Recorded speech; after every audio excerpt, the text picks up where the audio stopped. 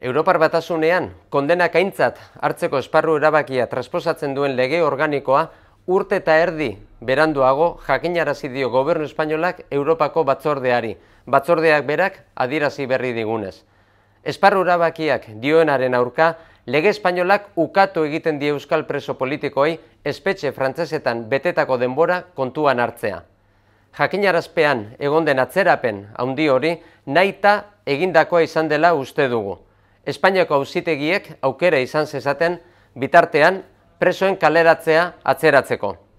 Frantziako zigorren metaketa onartuko balitz, zazpi preso azke gerartuko lirateke segituan, bere ala. Orain arte, Europako batzordeak etzuen lege espainol hori ezagutzen. Ikusiko dugu orain, eskuartean duela, neurriak hartzeko beharra ikusten duen, eta gobernu espainolari legea moldatzeko eta Europako zuzenbideari egokitzeko esegetzen dion.